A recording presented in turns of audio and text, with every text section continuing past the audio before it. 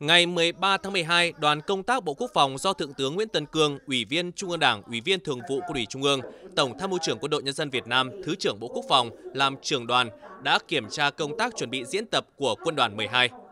Tham gia đoàn kiểm tra có các đồng chí Trung tướng Nguyễn Văn Gấu, Ủy viên Trung ương Đảng, Phó chủ nhiệm Tổng cục Chính trị Quân đội Nhân dân Việt Nam, Thượng tướng Nguyễn Văn Nghĩa, Phó Tổng Tham mưu trưởng Quân đội Nhân dân Việt Nam, lãnh đạo chỉ huy các tổng cục, cơ quan thuộc Bộ Quốc phòng, các chỉ huy một số quân khu, quân chủng, binh chủng, Bộ Tư lệnh 86. Tại khu vực sở chỉ huy diễn tập của Quân đoàn 12, sau khi theo dõi các lực lượng tổng duyệt các nội dung thực hành diễn tập qua màn hình trực tuyến,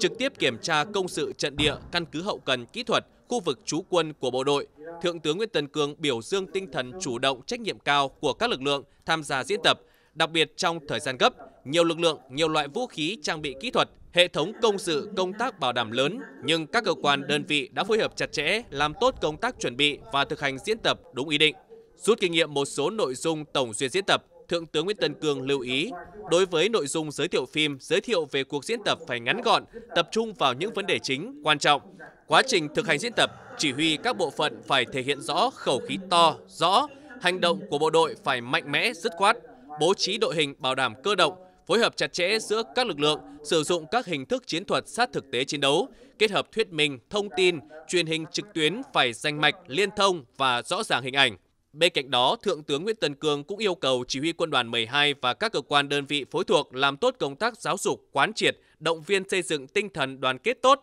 trách nhiệm cao cho cán bộ chiến sĩ, tiếp tục làm công tác chuẩn bị chú đáo, chú ý bảo đảm tốt kỷ luật dân vận, chấp hành nghiêm nền nếp chính quy, kỷ luật quân đội, bảo đảm tốt nơi ăn ở cho bộ đội, không để bộ đội đói rét, sinh hoạt thiếu thốn. Cùng với đó, chuẩn bị đầy đủ các loại vũ khí, trang bị kỹ thuật để cuộc diễn tập diễn ra thành công, bảo đảm an toàn tuyệt đối.